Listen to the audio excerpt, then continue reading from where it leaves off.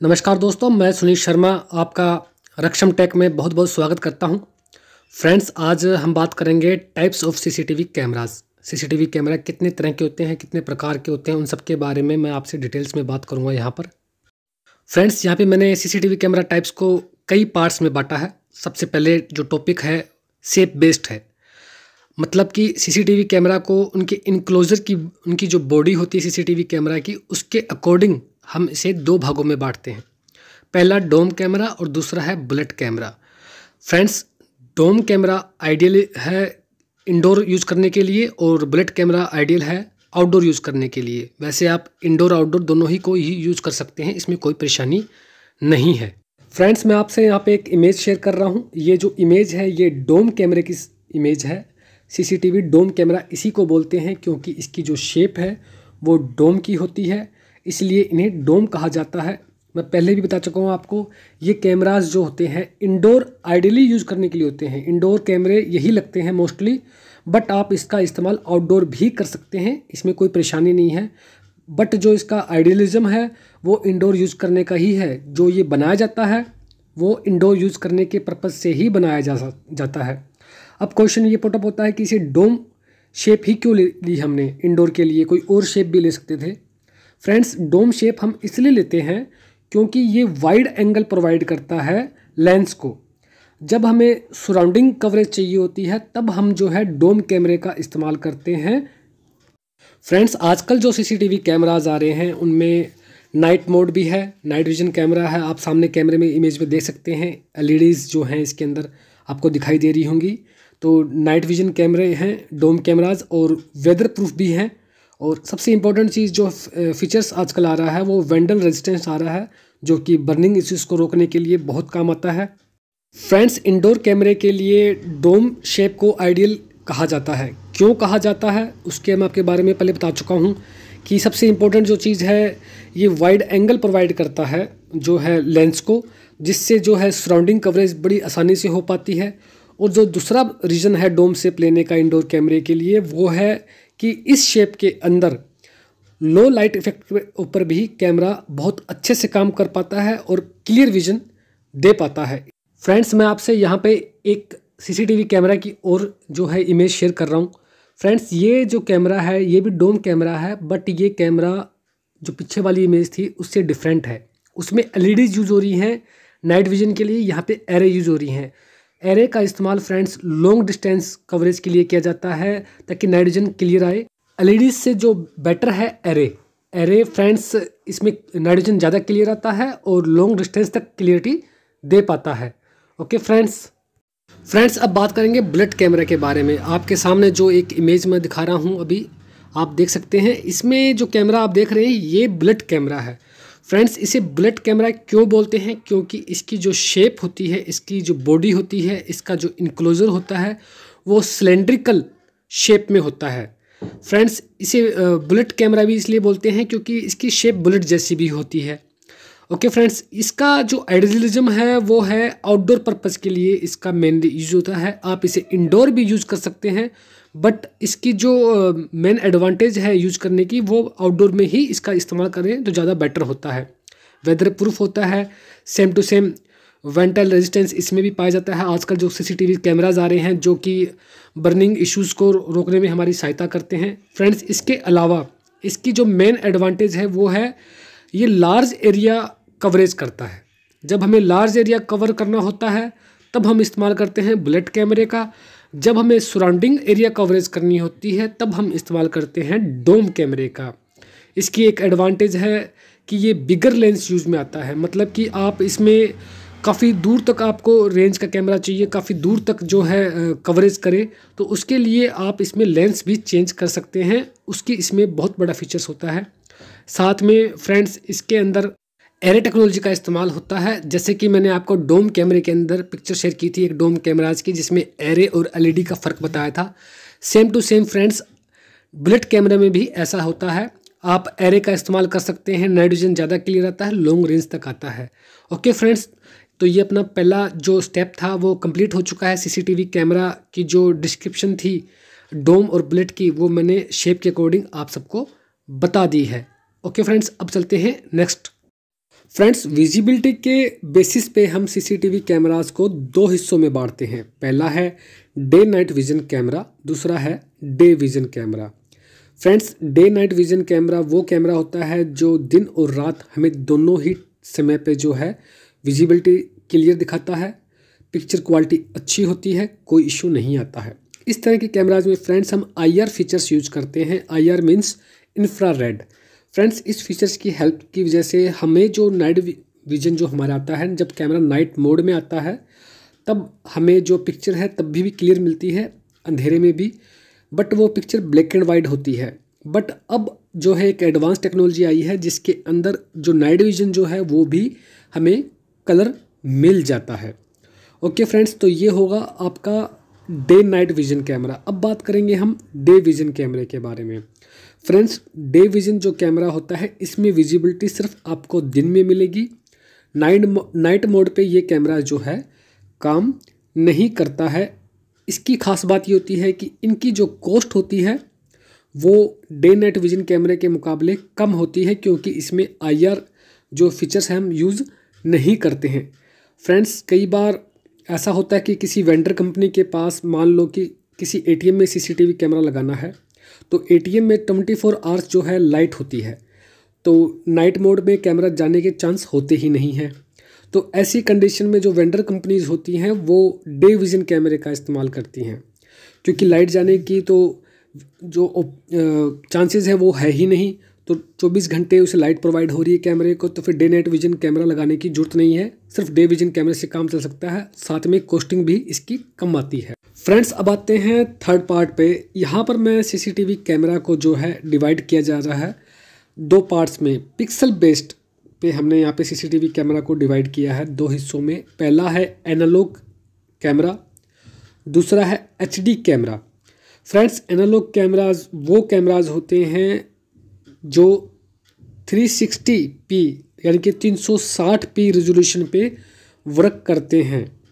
और friends H camera वो होते हैं जिनकी मिनिमम रेजोल्यूशन जो होती है, वो 720 पी होती है, यानी कि 720 पी फ्रेंड्स यहाँ पी का मतलब होता है पिक्सल जितनी ज़्यादा पिक्सल होंगी इमेज जो है, उतनी ही ज़्यादा क्लियर आएगी।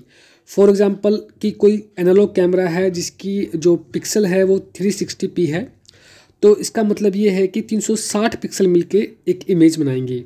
और एचडी कैमरा में 720 पी रेजोल्यूशन है तो इसका मतलब ये है कि 720 पिक्सल मिलकर एक इमेज बनाएगी। फ्रेंड्स, ये प्रैक्टिकल बात है कि जितने ज़्यादा पिक्सल होंगे, इमेज क्लैरिटी उतनी अच्छी होगी। तो इसीलिए एचडी कैमरा आजकल काफ़ी ज़्यादा चल रहा है और एनालॉग जो कैमरा है, वो मार्केट से रिप्लेस हो चुका है। एनालॉग कैमरा की जो अवेलेबिलिटी है। आज के तारीख में फ्रेंड्स वो ना के बराबर ही है मार्केट में। ये एनालॉग कैमरा वही कैमराज होते थे जो पहले कलर टीवी पे भी चल जाते थे। बट आज अगर आप एचडी कैमरा यूज़ कर रहे हैं तो आपको आपके पास एक एलईडी डिस्प्ले होनी चाहिए।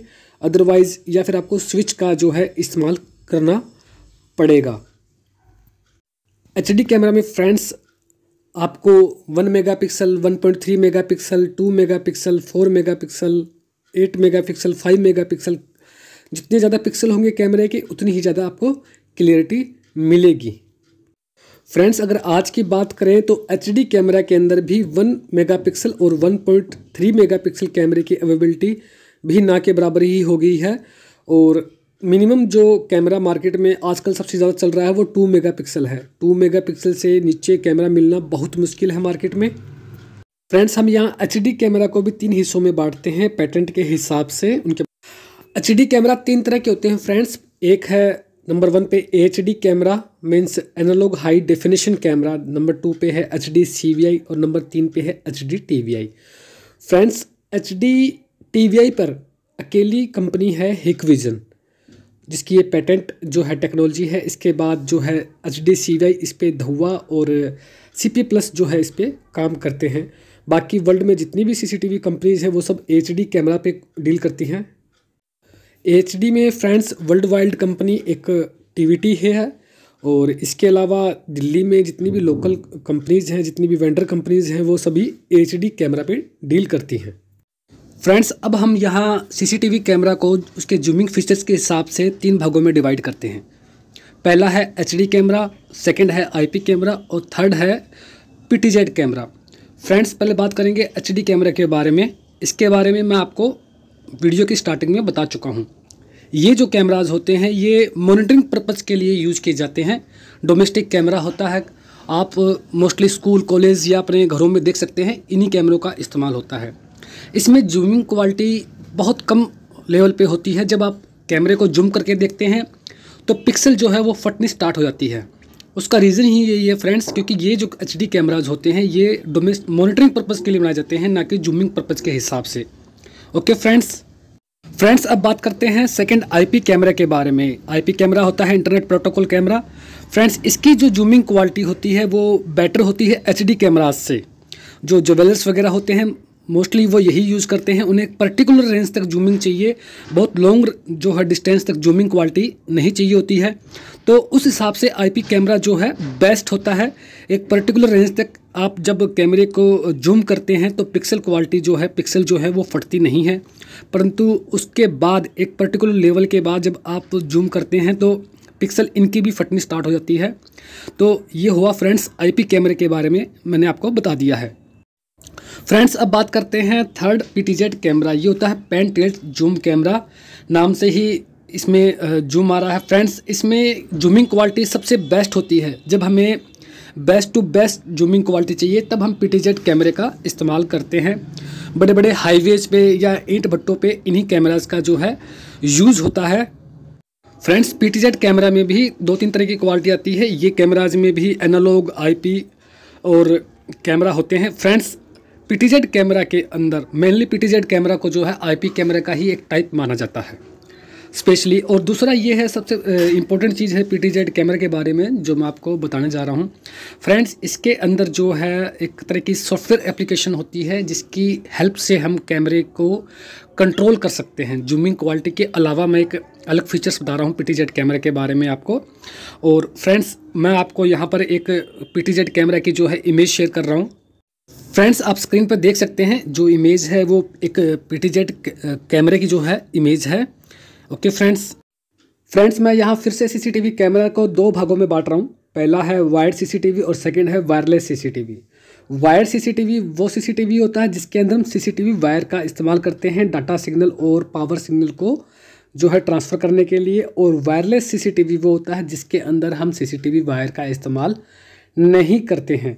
Okay friends. फ्रेंड्स यहाँ पर हम फिर से सीसीटीवी कैमरा को दो भागों में बांट रहे हैं। पहला है सी माउंट कैमरा दूसरा है C S mount camera friends C mount camera और सी एस माउंट कैमरा ये एक टेक्निकल सीसीटीवी फीचर्स है और सी माउंट कैमरा जो है, पहले पुराने टाइम पे ज़्यादा यूज़ होता था, अब जो कैमराज आ रहे हैं वो सी एस माउंट कैमरा आ रहे हैं। उसका रीज़न ये है कि जो सी माउंट कैमरा होता है, उसमें हमें नीड पड़ती है फाइव एम एम रिंग की।